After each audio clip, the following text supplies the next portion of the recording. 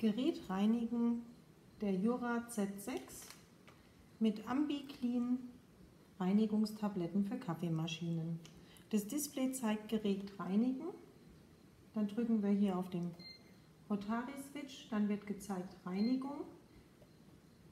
Hm, starten. Wie immer, Kaffeesatzbehälter leeren.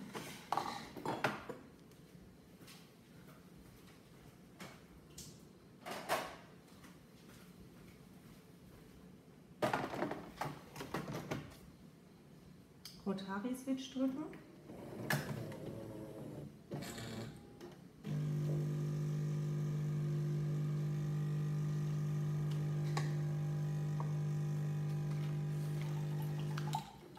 Das sind kleine weiße Tabletten.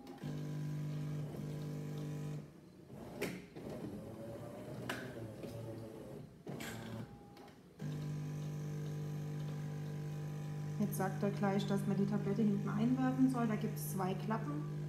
Die rechte ist für Kaffeepulver und die linke ist für die Tablette.